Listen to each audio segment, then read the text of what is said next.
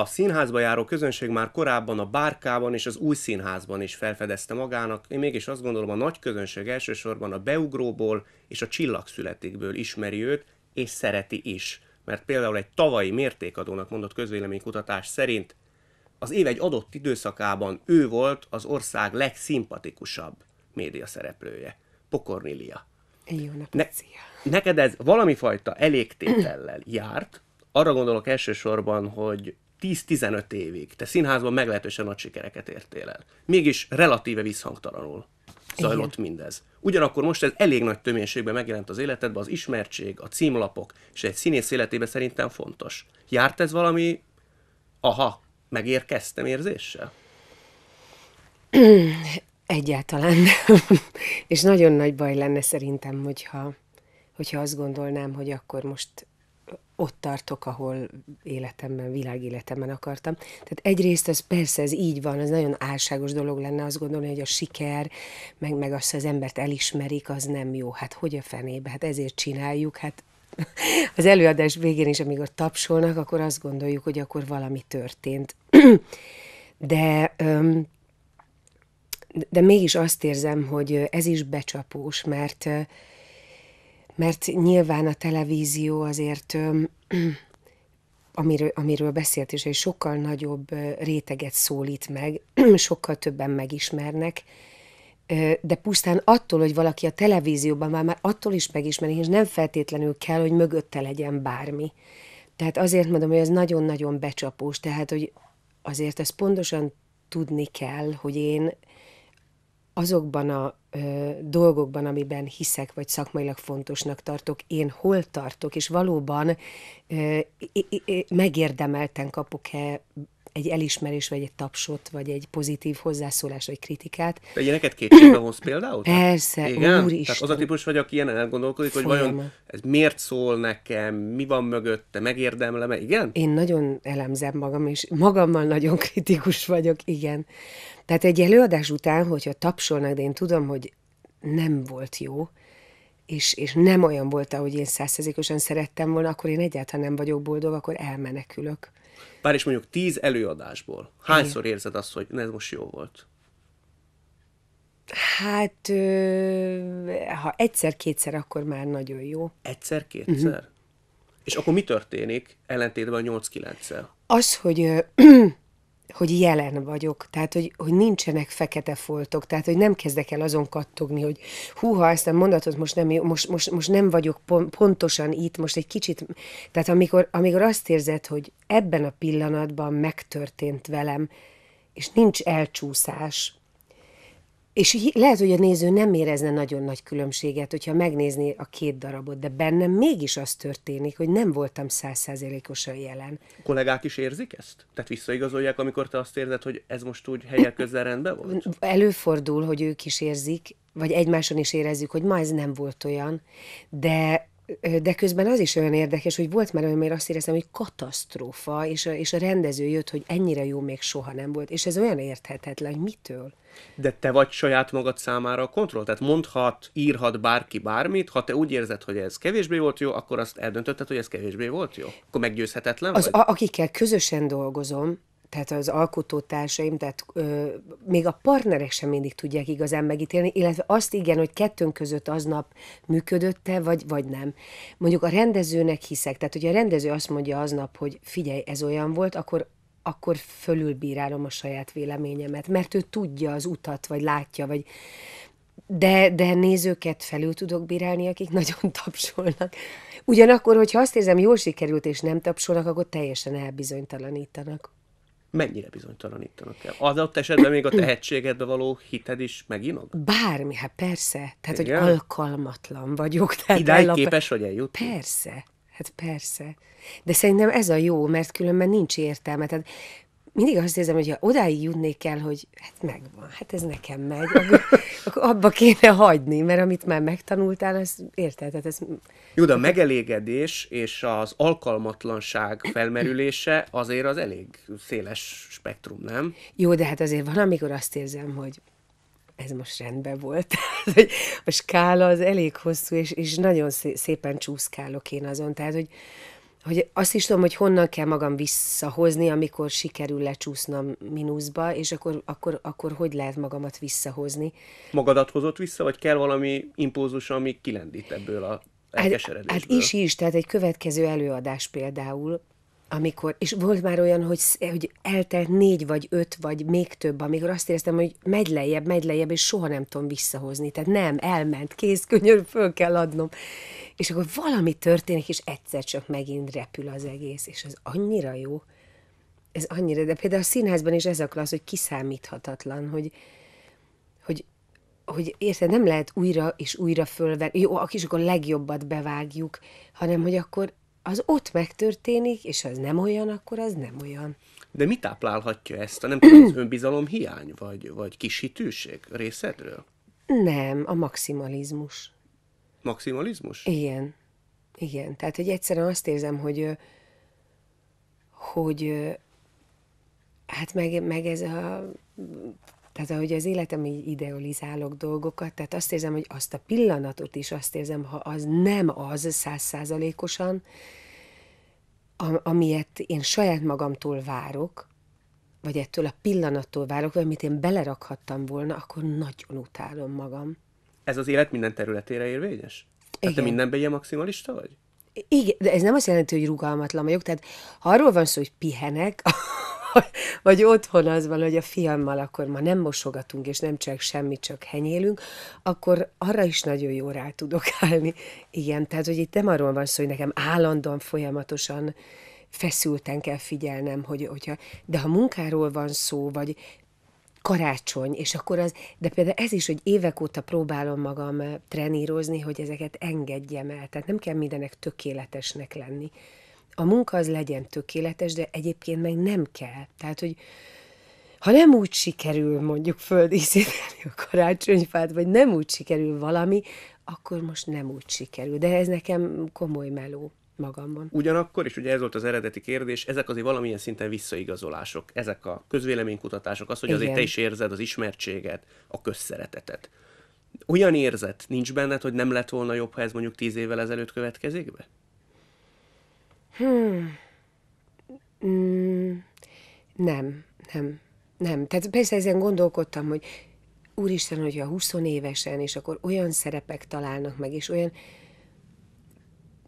Ez nem igaz, mert tényleg gondolkodtam ezen, de valahogy azt érzem, hogy, hogy nyilván én elmúltam 41 éves, tehát hogy, hogy amikor az ember azért át átbillen egy bizonyos koron, különösen nőknél, és akkor úgy általában az úgy kétségbeeséssel tölti el, vagy, vagy különösen színésznőknél, akkor az hogy lesz tovább, vagy hát akkor, akkor most már hogy lesz rám szükség, vagy hogy, és azt érzem, hogy engem meg pont ebben az időszakban kényeztet valahogy az élet, tehát azt hiszem, hogy nem,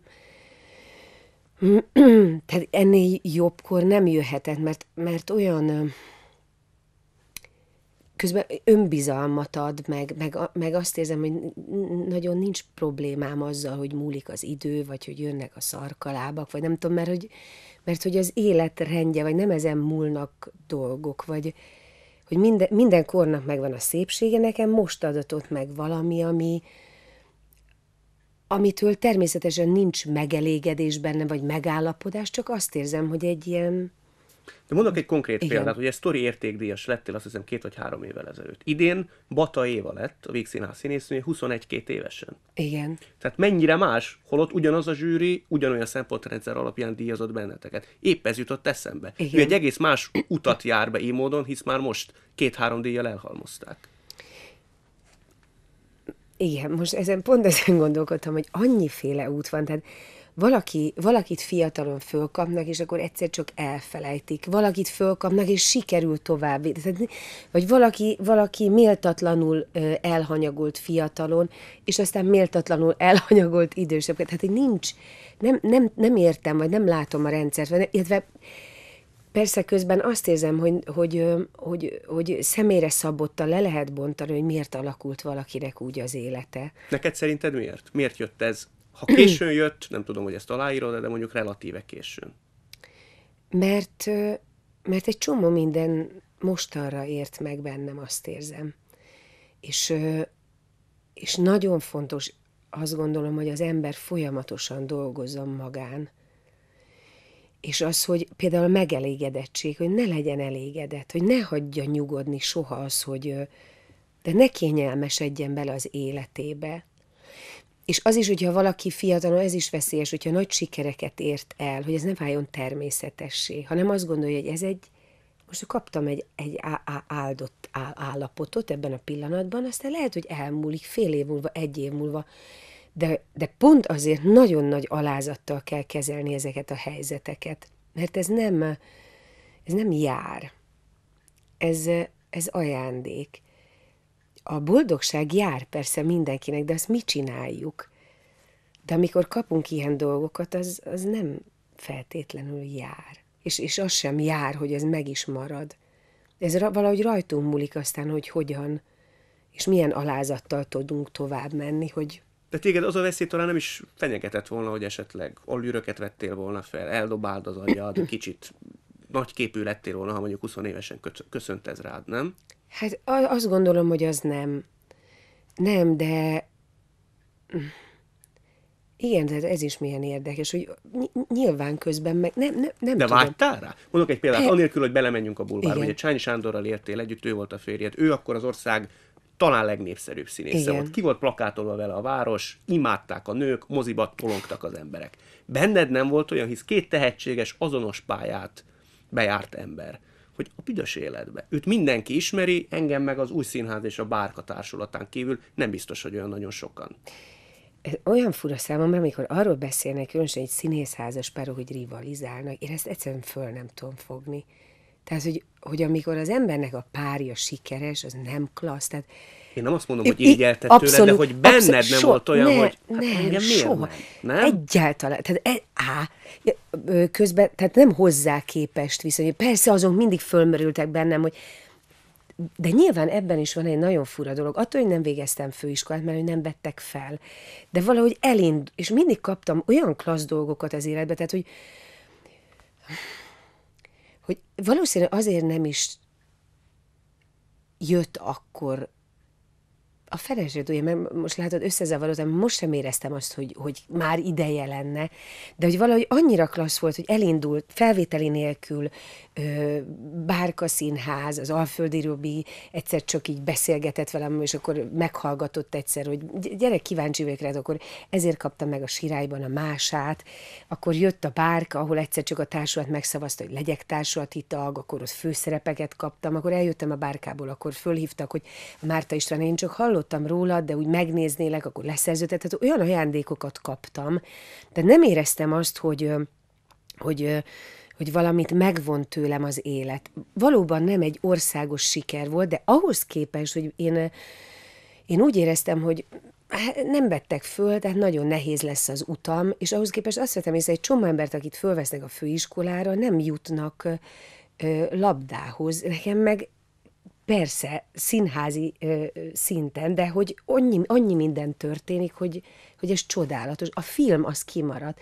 Igen, például ezen is gondolkodtam, hogy, hogy vajon miért, vagy, vagy, vagy hogy, hogy mit, nem tudom. Tehát, hogy ezen gondolkodtam, hogy miért nem dolgoztak olyan filmre. Nem, nem, egyszerűen nem, nem tudom. Tehát lehet, hogy, hogy és ezen is gondolkodtam, hogy egyáltalán nem biztos, hogy, most mondhatnám azt is, hogy nyilván a főiskolán megismerik a fiatal színészeket, a filmrendezők, és azokkal dolgoznak, és hogyha nem nagyon járnak színházba, akkor nem tudnak az emberről. Ez az egyik verzió. De a másik verzió, hogy egyáltalán nem biztos, hogy alkalmas voltam abban a helyzetben a fil- filmen megmutatni, mert annyira más kell hozzá, azt érzem technikailag, vagy nem, tehát, hogy Hát az HBO sorozatába szerepeltél, helytáltál, nagy népszerűségnek örömben. Igen, de csomó minden történt velem azóta. Amióta például azt érzem, például a színpadon 20 évesen nagyon sok, tehát mindig azt éreztem, hogy nagyon soknak lenni, és, és nekem általában vissza kellett vennem. Tehát, hogy ilyen rengeteg, tehát mindig nagyon nagy gesztusokkal, nagyon, és, és akkor azt szerették bennem, azt éreztem a színpadon, hogy iszonyú energiákkal dolgozom, de ez a filmen nem úgy működik ott például a csöndnek sokkal nagyobb ereje van. Ha ott sok vagy, akkor az, az, az ledobja, az nem, nem működőképes. De ezeket hol tanultad meg? Menet közben? Igen, igen. Annak hiányát érezted, hogy például egy főiskola kimaradt, már csak azért is, mert ott valami fajta filmes képzés tudomásom szerint van? Hát, Kamera előtti igen. mozgás. Igen, de um, hát nem vettem. Tehát a színházban sem egyébként. Tehát, hogy, illetve nem tudom, milyen lett volna, hogyha ott tanulok, mert nyilván nyilván akkor úgy megyek végig egy iskolán. Itt meg, itt meg próba közben. Tehát nem, De nem lestél éreztem- emberektől, lestél Persze. gesztusokat, levettél. Próba, az, hogy hogy dolgoznak. Tehát inkább az, hogy milyen, milyen koncentráció kell ahhoz, hogyan kell gondolkodni sz- szituációban, szerepben, hogy, hogy, hogy, hogy mitől működik két ember között az energia, meg egyáltalán mondatok miért hagyják el a szánkat, hogy, hogy kijön egy mondat, de az a mondat önmagában egy szöveg, hogy mitől lesz az a, az a mondat, amit csak te tudsz kimondani, és senki más soha úgy többé, mert azt te mondod, mert a te gondolataiddal van tele, hogy ezek hogy működnek. Tehát igazából ez volt számomra az érdekes, hogy egy-egy nagyon- nagyon-nagyon klassz színész, aki számomra té- tényleg nagy, akár a Bárka Színházban, akár az Színházban, hogy nagyon figyeltem őket, hogy ők hogyan, hogy csinálják, miből. És aztán, mikor ott állok velük, akkor, akkor egy próbán, tehát, hogy ő van, meg a helyzet, tehát, hogy ez hogy működik engem, ez nagyon-nagyon érdekel. De hát akkor azt érzem, hogy úgy szívom magamban, mint a szivacs. Tehát ez nagyon, nagyon tanulságos ez időszak egy egész más út, ez Igen. kétségtelen. De ha csak arra gondolunk például, hogy tudomásom szerint a főiskolán, ugye kétszer Igen. próbálkozták, kétszer utasítottak el, ha sikerrel jártál volna, egyszer Zsámbéki Gábor, egyszer pedig Kerényi Imre osztályába kerültél Igen. volna. Azok azért egy fiatal színésznő esetében, hogy ezen két mesterrel eltöltsön négy-öt évet főiskolán, azért azt gondolom, hogy komoly és termékeny év. Igen. Ilyen formán a hiányát, az, hogy nem volt egy úgymond mestered, aki a színész mesterség csinyát, binyát ilyen szervezet keze- keretek között tanította volna, hogy a kapcsolataid nem épültek ki, akár csak rendezőkkel, akár csak osztálytársakkal. Ez volt-e hátrány, és ha volt, akkor ez mennyire foglalkoztatott? Egyrészt, mivel nem tudom, hogy az milyen lett volna, nem tudom azt mondani, hogy, hogy mit veszítettem, mert nem tudhatom, hogy mit veszítettem. Egy csomóan olyan érdekes, hogy de ez is butaság, hát nyilván nagyon sok mindent tanultam volna a tanároktól, de nagyon, sok minden, nagyon sokan meg erényemnek hozzák föl, de jó, mert téged nem rontottak el, nem tudom mivel, de egy csomóan, akikkel dolgoztam, mindig ezt mondták, hogy nincsenek manírok, vagy nincs, ez is butaság szerint, vagy általánosítás. És ö, ne, nem, tud, tehát ne, ne, nem tudom, hogy nem tudom neked megmondani azt, hogy, hogy, hogy vesztettem, vagy nyertem, vagy nem tudom. Egyszerűen ez volt az utam, és, és, és közben olyan fantasztikus rendezőkkel dolgoztam, és olyan fantasztikus kollégákkal dolgoztam, hogy, hogy nem éreztem a hiányát.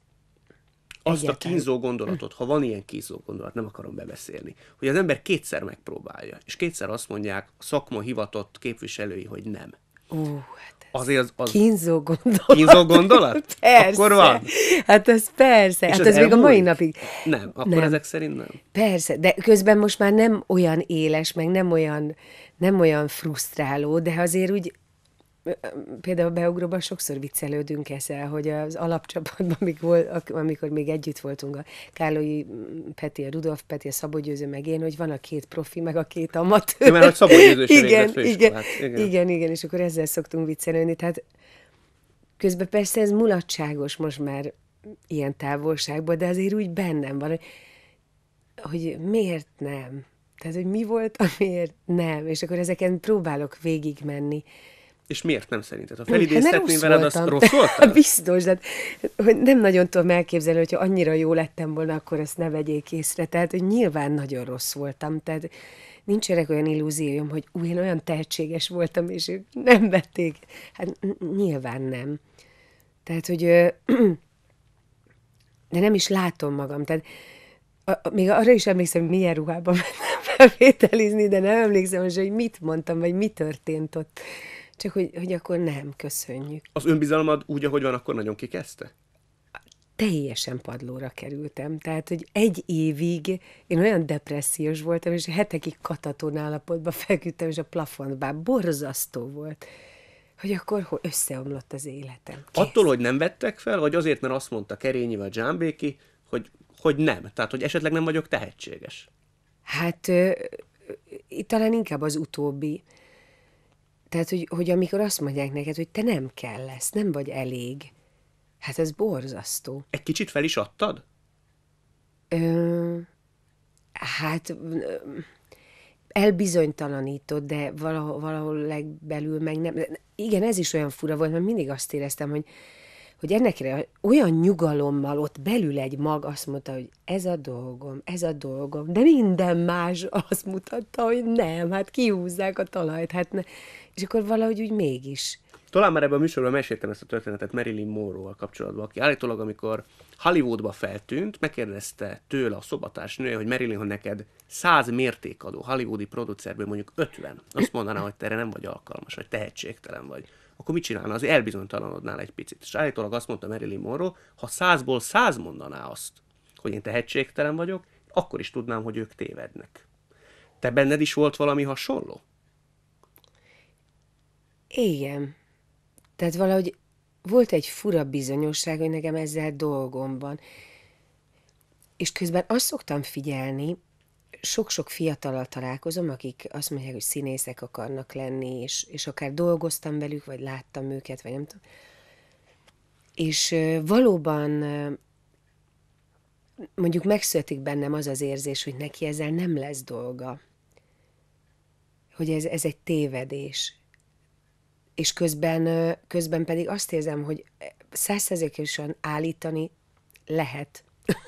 van, amikor az ember egyáltalán nem téved, mert annyira egyértelmű, de közben pedig azt érzem, hogy bennük is dolgozik, hogy de én akkor is ezt fogom csinálni, de én akkor is ezt fogom csinálni. Mi a különbség a között, hogy valaki csak azért is ezt akarja csinálni, vagy valakinek ez a dolga is kész. Mert az a különbség az egyikben akarat van és dac, a másikban meg az a tudás, ami ek, valami fura nyugalommal tölt el közben. Valami fajta végzet, Tudod. nem? Igen. Te melyik voltál a kettő közül? Akarat volt nagyon, de azt hiszem ehhez párosult az is, hogy érezted, hogy neked ehhez közöd van. Nem, Tehát a végzet akar... biztos meg volt, csak az akarat meg volt. Nem, nekem az, akar... nem az, nekem az akaratomat az, az teljesen így, tehát az azt éreztem, hogy nem, föladom, kész. Tehát, hogy kész, vége, nem tudom, vége az életnek, mindennek vége. Csak itt nem tudom neked elmondani ezt a fura gondolatmagot, én mindig itt érzem a gyomromban, hogy ez van. És akárhogy cikáznak a félelmek, a frusztrációk, a pánika, nem tudom micsoda, ott ebben a központban olyan valami, az, az úgy olyan nyugodtan ott úgy van. E, csak ez az egy szó, hogy ez van.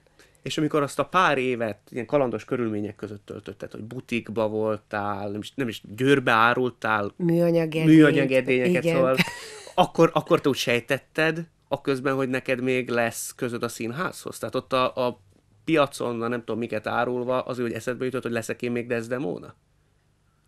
Igen. Igen? Uh-huh.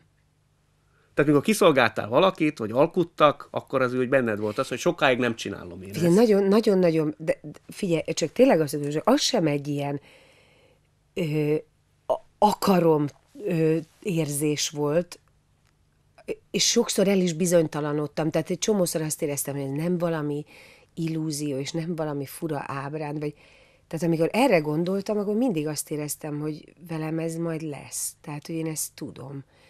És közben meg egyáltalán nem arra vitt az életem. Tehát, hogy annyi mindent csináltam, és, és emlékszem, még Dömösön laktunk 17 évig, és a hegyoldalban, egy gyönyörű helyen egyébként, a Zebegényt, meg Visegrádot, meg a Nagyhegyet látom, és ott ülök Dömösön, és tudom, hogy mennem kell Esztergomba az iskolába, és kinültem a teraszon, nagyon messze Budapesttől, nagyon messze mindentől, és úgy így azt éreztem, hogy nem sokára elindul az én életem. Tehát olyan, mint egy ilyen hamu, hamupipőke időszakot élnék,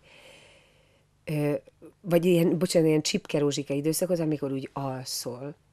Tehát olyan mélyen alszol. Tehát ami most történik veled, az, az tulajdonképpen nem a valóság, hanem az ál, álmodat éled, vagy az ál, nem az éled, az álmomban vagyok, és mindjárt föl fogok ébredni, és elindul az életem. De ez is nagyon-nagyon hasznos, mert mind azt fogja szolgálni, hogy én egyszer csak ott működni tudjak. Nem érzed elvesztegetett éveknek azt a négy-öt évet?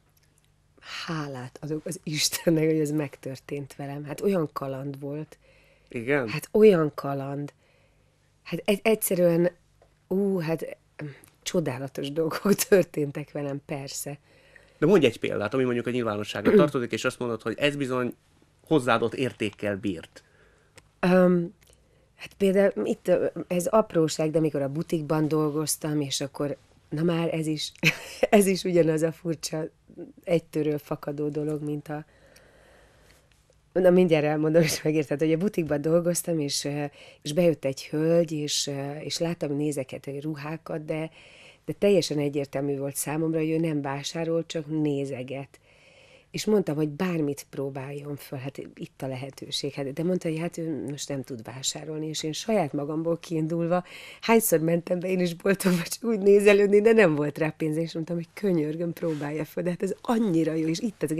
És emlékszem, hogy vittem neki a ruhákat, és miközben így próbáltam, hogy ez olyan jó, csak élvezkedjen egy kicsit, és hogy közben kipakolták a kasszát, és Jézus Igen, igen, és ez, igen, viszont a hölgynek nagy, azt mondta, hogy... Ő neki nagyon tetszett. Na, nagyon, mert mondta, hogy nem ő pakolta ki. Persze, értem Tehát, hogy, hogy, hogy, mondta, hogy egyszerűen mindig, amikor bemegy egy ilyen üzletbe, akkor úgy kinézik, mert szemmel látható, hogy úgyse fog vásárolni, tehát neki lett egy nagyon jó napja, és ez... Szóval egy ilyen, igen, ilyen meseszerű történetek voltak, meg aztán voltak olyanok is, amiket most nem mesélhetek el. Nagyon izgalmas.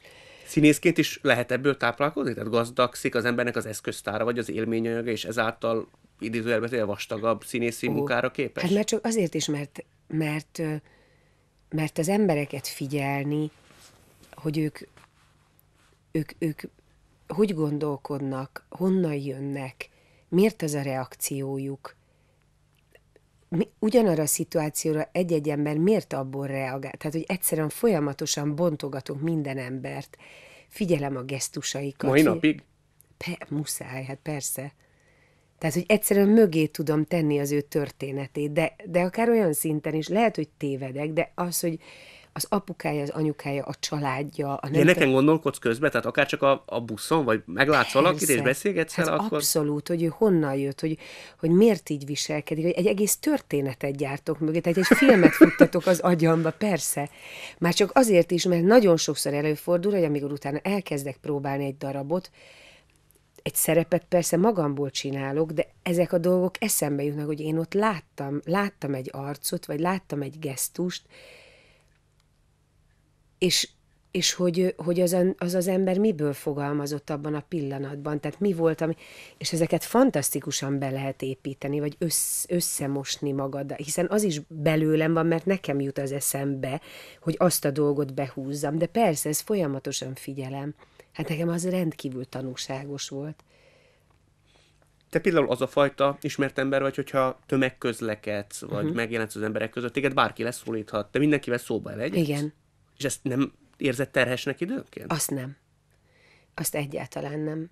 Tehát, hogy amit terhesnek érzek a, a bulvás sajtó, tehát ez nagyon terhesnek, tehát azt érzem, hogy annyira védem a magánéletemet, és, és ez nekem nagyon nagy meccs, hogy ezt így meg, megőrizzem, és hogy, hogy, hogy ezt így tartsam. De amikor az emberek oda jönnek hozzám, mivel vidéken nőttem fel, nekem ez, ez magától értetődő dolog, hogy leállunk beszélgetni. És te ilyenkor szó szerint beszélgetsz velük? Hát persze. Tehát szánsz rájuk 5-10 percet? Hát persze, és akkor el, abszolút, hát meg a piacra, én piacra imádok járni. És akkor ott is megvan, hogy ki melyik nénihez megyek, melyik henteshez megyek, megint persze, tehát hogy nekem ez fontos, nagyon fontos. Igaz, hogy van, aki kinyomozza a telefonszámodat és felhív? Igen, vagy követnek hazáig. Követnek? Igen. De ezek annyit árulj el, amit feltétlenül muszáj, ezek férfiak? Tehát önjelölt Nem feltétlenül. De nem feltétlenül. Nem feltétlen? Nem.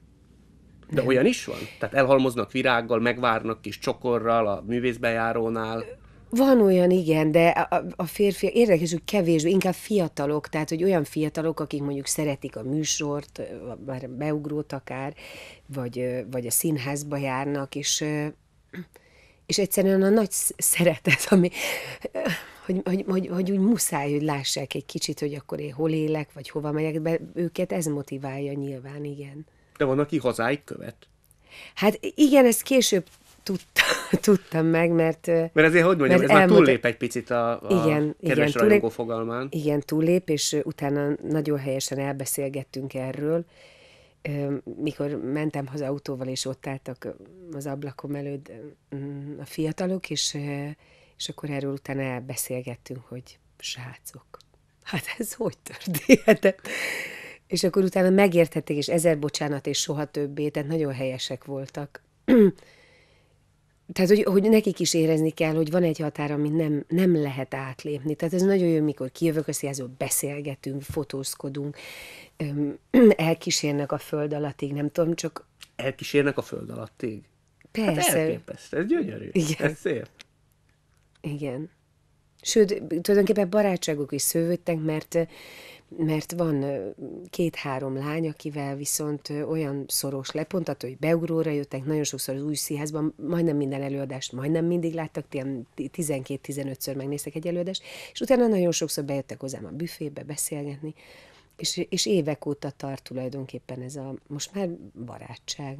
Ez a közvetlenséged, vagy nyitottságod, ez nem tesz téged sebezhetővé? De. De előfordul, mert valaki valaki nem érzi, hogy hol a határ.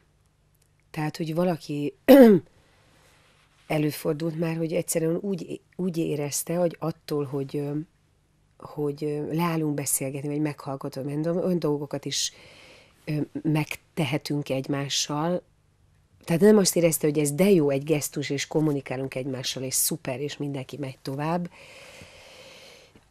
ami, ami nagyon meredek volt, tehát történtek igen olyan dolgok így az életemben, ami, amivel utána le kell, amit mondtam neked, hogy nagyon sokáig tolerálok, de van egy pont, amikor na itt, itt most vége van, tehát ez, ezt nem tovább. Tehát ott, ott, ott igen keményen le kell zárnom, mert mert az már molesztálás, igen. De ez a közvetlenséged, ez egyértelműen arra gondolsz, hogy a vidéki létből fakad? Tehát abból, hogy te vidéken nőttél föl, ahol sokkal közvetlenebbek és barátságosabbak az emberek? Vagy legalábbis ezt szokták mondani ez a...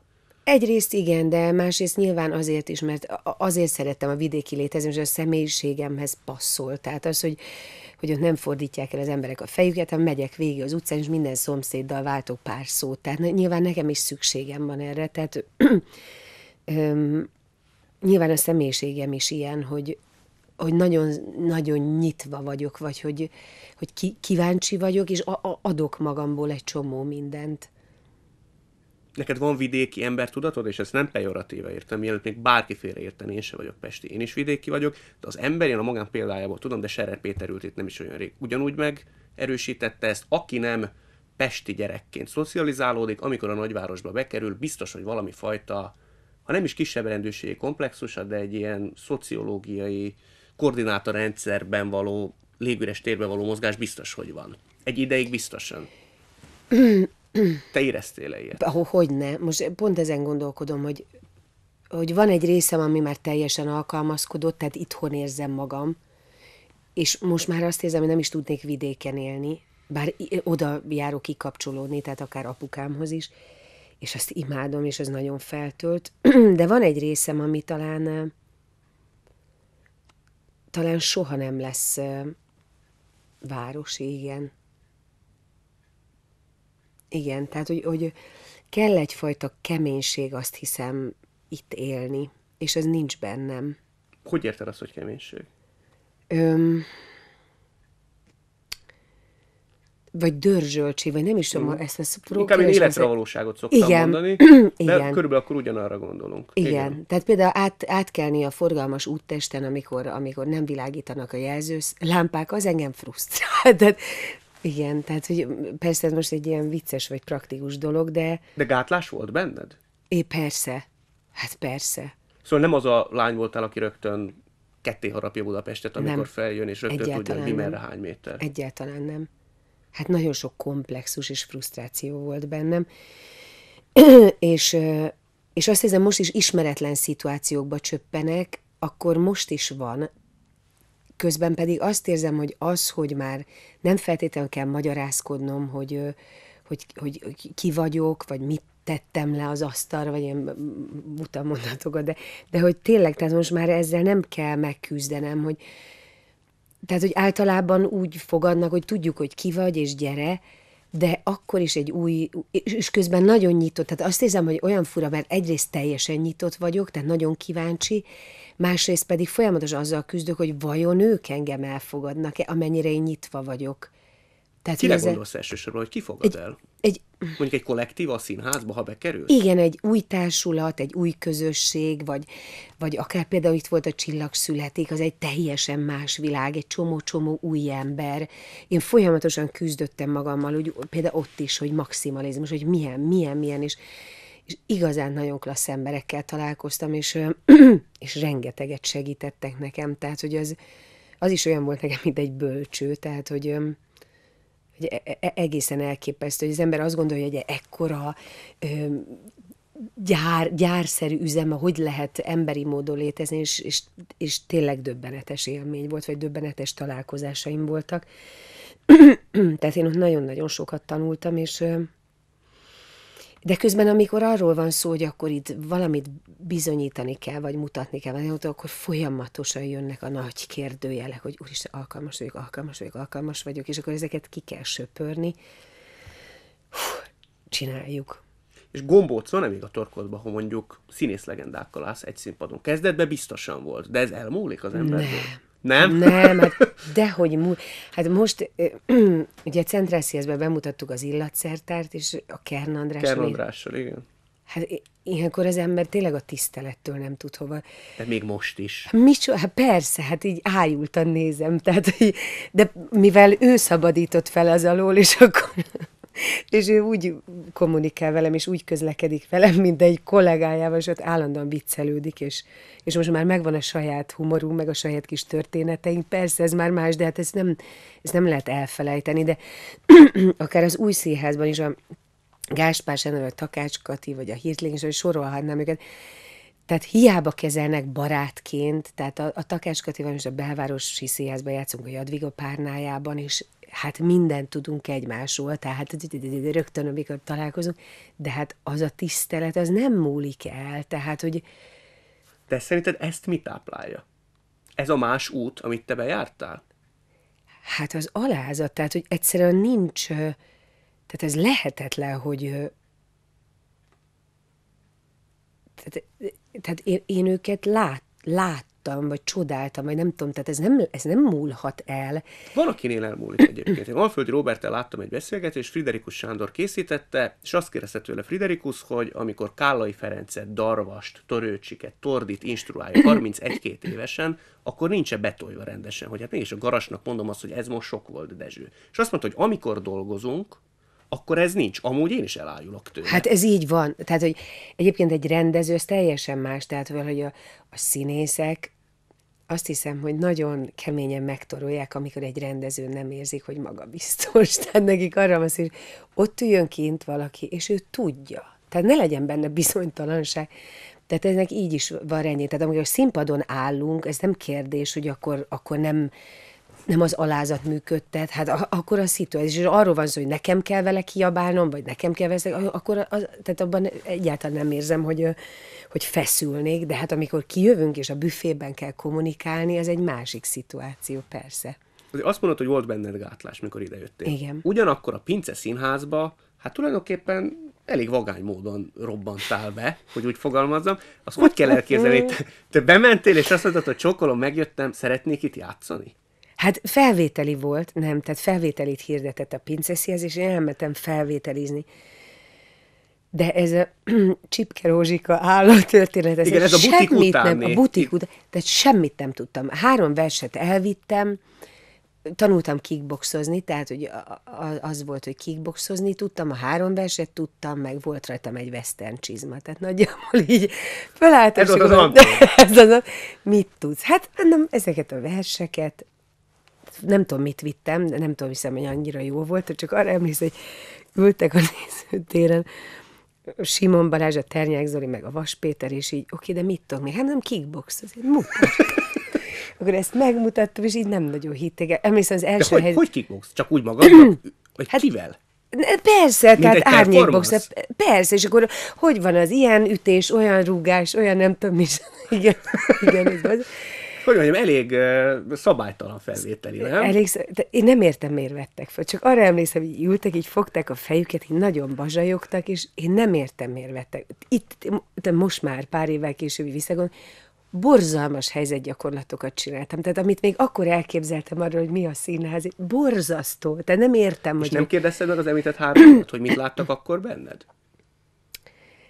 Hát ö, valami olyasmit mondtak, hogy tehát azt látták, hogy ebből vagy nagyon nagy bukta lesz, vagy ezeket így le kell szedni, és ott van valami. Tehát mondták, hogy ez olyan nagyon kétesélyes volt abban a pillanatban, de mondták, hogy adjunk már egy esélyt neki, aztán majd meglátjuk. Melyiket érzed a fordulópontnak? A pince Gondolom ott volt az első, amikor igazán egy magával szembeigényes színész eljut arra, hogy na, most azért úgy megérkeztem. Ez a pince színházban volt? A, a Pince Színházban volt egy pillanat, illetve egy próba, amikor egyszer csak azt éreztem, hogy most megértettem valamit. Az, az egy döbbenetes élmény, a Marivónak a Vita szerelemről című darabját próbáltuk, és az egyik összpróbán már a bemutató előtt így egyszer csak azt éreztem, hogy egy olyan szabadságérzés, amit mondtam, hogy a jelenlevés, hogy, hogy egyszer csak el, el, elindulok egy olyan, mint hogyha így ilyen fu- fura tejszerű masszában lennél, és hogy minden, mint a Matrixban, amikor érzed azt, hogy jönnek a golyók, és így meg... Uff, tehát az valami egész különös élmény volt. Ott már te tudtad, hogy Győrbe, Pozsonyba te már nem fogsz visszamenni Tudtam. könyökvédőt árulni. Tehát azt, azt már akkor az ugye eldőlt, ugye? Azt hogy te itt tudtam. elvesztél. Igen, azt tudtam. És hogy hogy, tehát az, az egy e- egész különös felismerés volt. És aztán utána eljöttem a Pince Színházból, meg, meg jött a sirály, ahol nagyon sok problémám volt saját magammal, és azt éreztem, hogy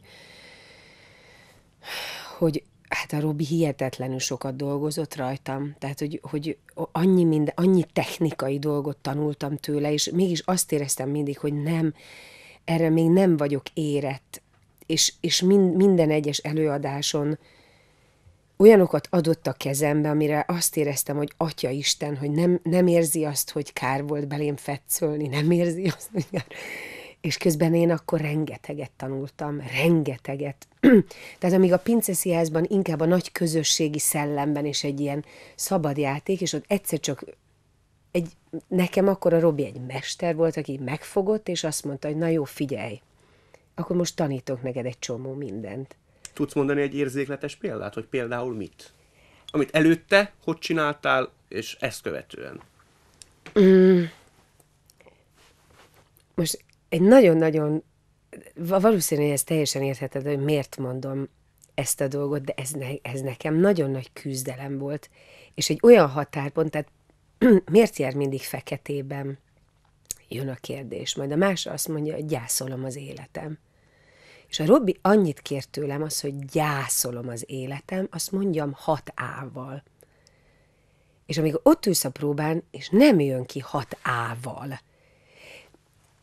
és, e, és ez most egy nagyon fura technikai dolog, nagyon sokszor ö, instruált ő úgy engem, egy, egy technikai dolgot mondott, de egy nagyon-nagyon pontos gondolat volt mögötte. Tehát egy csomó mindent mögé tudsz pakolni, hogy ezt miért kell. És abban a pillanatban, hogy az ember meg kit kimeri mondani hat ával azt a szót, egyszerűen, vagy érted, olyan erővel szólal meg, vagy olyan dolgot lépsz át, ami addig ilyen szűken van, és egyszer csak azt érzed, hogy technikailag kapsz egy olyan mankót, ami ugyanúgy megteremti a te szabadságodat, ha mersz vele bánni. És hát millió egy ilyen apróság. Ezek elsősorban technikai értélyok, vagy technikai mesterfogások? Hát igen, mert hát egy csomó technika van a színházban, hát millió-millió, és azért nem tűnik föl, hogy az, mert egyszerűen megtanulsz vele bánni. És, és már nem azon gondolkozol, hogy technika, hanem egyszer csak olyan magától értetődővé válik. Az, az, az, mitől zokogsz a színpadon, az egy olyan koncentrál, ez nem úgy, hogy megnyomog egy gombot, és akkor ömlik. Miért, hogy sír a színész? Én két iskolát ismerek, volt, aki azt mondta, hogy ilyenkor a saját életére gondol, valami szörnyűségre, van, aki meg azt mondja, hogy teljesen átlényegül, nem tudom én kivé. És akkor már ő sír, tehát szerep, a szerepbe sír. Hát nekem az utóbbi, mert, mert egyszerűen azt érzem, hogyha jól működik a darab, és jól van felépítve, tehát nem gondolkozol, hogy sírni kell, tehát egyszerűen megtörténik veled, mert végighaladsz egy úton, és mindig azt érzem, a gondolatokból építkezel, nem érzelmeket játszik az ember, mert ez általános. Tehát minden egyes mondat, amit kimondasz a szádon, az egy gondolat, amit átadsz a másiknak. Ő mond valamit, az is hatással van rá. És hogyha a kettőtök között van egy nagyon koncentrált figyelem, e- e- e- e- ezek a gondolatok, hogy jönnek, olyan érzelmi állapotot képes hozni, ha ez egy elég tehát ha jelen vagy, és ott vagy abban a pillanatban, hogy az, jö, az nem gondolkozol, tehát történik veled. Szinte automatizmus Persze. egy rutinos színész esetében. És amikor a Desdemona szerepében, tehát Otello-ban te mesztelenül jelentél meg a színpadon. Borzasztó. Akkor olyankor milyen automatizmusok lépnek Sem, életbe? az halál. Azt én nem, én nem bírok mesztelen. Ezt ki, nem, nem bírom. Tehát, hogy... Akkor mivel győzött meg Gárdos Péter? Mert hogy ő volt a darab rendezője. Hát, hogy ez dramaturgiailag szükséges, a kiszolgáltatottság érzés, és én teljesen értettem, tehát, hogy én, én tökéletesen értettem, és én nagyon irigylem azokat a színészeket, akik szabadon tudnak mozogni mesztelenül. Bennem meg mindig az van, bizonyos szempontból önző gondolat, bizonyos szempontból teljesen jogos, hiszen amikor nézek egy színészt mesztelenül a színpadon, ugyanerre gondolok, hogy a színész mesztelenül van a színpadon, és nem a szituációra figyelek hogy ne azt figyeljék, hogy én beszélek, hanem azt, amit játszom. Tehát igen, itt állok pucéran, de hát haladjunk már a jelenetet, de nem tudok haladni, mert most mindenki azt figyeli, hogy mesztelenül vagyok a színpadon. És ettől nem tudok elszakadni, és nem tudok szabadon játszani. Belehaltál a próba folyamatban meg ebbe az előadás sorozatba? Hát, szörnyű volt? A, abban nem, abban, amikor egyszer csak az volt, hogy Na, akkor... abban a részére, igen. akkor most, most. Igen, és a Gesztesi Karcsit nagyon szerettem, amikor felismertem, amikor jött egy csomó-csomó diák nézni az előadás, és hú! és az volt, hogy egy bizonyos távolságba kellett álljon tőlem, amikor leveszek egy köpenyt, és akkor az volt, hogy szépen előadásról előadásra olyan közel jött hozzá, így nézett a szemembe. Hogy szinte kitakartál. Teljesen, tehát elő, ő, el voltál de ő fantasztikus, hogy szépen levettem, beszálltam a fürdőkádba, igen, tehát hogy ez ne legyen egy egy ennyire katartikus pillanat, igen. Azért te elég, hogy mondjam, könnyen váltasz. Ugye igen. a Bárka színházat ott hagytad. Az új színház még nagyobb port vert fel. És az jutott eszembe, hogy amennyire jól vagyok informálva, egyik esetben sem volt a zsebedben egy másik ajánlat. Tehát szinte te a bizonytalanba léptél ki. Te nem félsz a létbizonytalanságtól, vagy attól, hogy mi lesz velem ebbe az időszakban? Hát És mégis megmerted lépni? Mert mindig arra gondolok, hogy amikor van egy döntés az életedben, akkor megpróbál az ember egyik irányba gondolkodni, másik irányba gondolkodni. Elkezdett futtatni, de nem fogsz tudni sokkal előbb jutni pár lépésnél, mert mert soha nem tudod kiszámítani, hát olyan váratlan dolgok jönnek szembe, amivel nem tudsz számolni. Mind a két úton van buktató, mind a két úton van pozitív lehetőség, mi bekapaszkodj nekem egyetlen, hogy becsukom a szemem, és arra gondolok, hogy mivel van dolgom. És mindig megpróbál, az, amire azt mondja bennem valami, hogy igen, arra kell menni, hiába félelmetes, hiába hiába érzem azt, hogy nem látom, lehet, hogy szakadék a következő lépés, akkor szakadék, de akkor is az a dolgom. És milyen morális, vagy nem tudom én, etikai szempontok lépnek érvénybe, amikor te vizsgálat tárgyává teszed azt, hogy odébb lépsz Nekem sem? nagyon erősen dolgoznak a, a morális dolgok. Tehát, hogy a Bárka Színházban is egyszer azt éreztem, hogy ez a társulat szavazott meg, nem tudnék itt, tehát valami, tehát azt éreztem, hogy, hogy, hogy képtelen lennék azt mondani, hogy, hogy tovább maradok, nekem föl kell állni velük. Ez annyira nem volt kérdés. Persze a félelmek, hogy lesz tovább, mint lesz tovább, de egyáltalán nem bizonytalanított el. Ugyanúgy az új szíjáz esetében sem. Tehát egyszerűen az volt, hogy oké, okay, ez a helyzet, nem tudom, mi lesz, de nem bizonytalanított el, hogy tehát egy másodpercig nem volt bennem az, hogy és ha maradnék, mi lenne. Egyszerűen nem. De a Dörner Györgyel volt bajod a pályázat módjával, az ő eszmerendszerével, vagy úgy Is, is. Értve Dörner György nem, hiszen nem ismerem, és fantasztikus színésznek tartom, tehát nem mint ember, hanem az utóbbi kettő. A színházba, hogy általában a színházi társadalmon belül ez a lépés, amit nagyon sokan karakteres lépésnek tartottak, mert sokan azért nem merték ezt megtenni, gondolom én egzisztenciális félelemből fakadóan. Szült olyat, hogy esetleg megváltoztak a viszonyrendszereit. Megmondom konkrétan, mire gondolok. Biztos nagyon sokan megveregették a vállat, hogy Lia ez fantasztikus volt, de gondolom Dörner fanok pedig lehet, hogy léptek egy vagy két lépést hátra tőle. Nem igaz. Ez nem igaz? Ez lehet, hogy a Dörner fanok igen, de például ö, azt éreztem, hogy ö, hát ez is mennyire furcsa. Tehát, hogy például ö, kimondottan Dörner Györgyék is azt mondták, hogy, hogy iszonyú korrektnek tartják, hogy nem kezdek el úgy csinálni, mintha, hanem ezt gondolom, és megyek. Tehát ez is olyan furcsa volt, hogy tulajdonképpen ö, ö, úgy tudtunk egy, egymással elmenni, egymás szemébe készfogással. Tehát, hogy, ö, hogy ez egy ti- tiszta helyzet volt. És ilyenkor te abba a pillanatban lezártad, elengedted, és nem is gondolsz vissza az új színházra, az ott eltöltött tíz évre, nem fájdítod a szíved. De nagyon furcsa, Ú, e- e- ez volt tulajdonképpen életem egyik legfájdalmasabb egy éve. De gondolok rá, hogy a fenébe ne gondolni.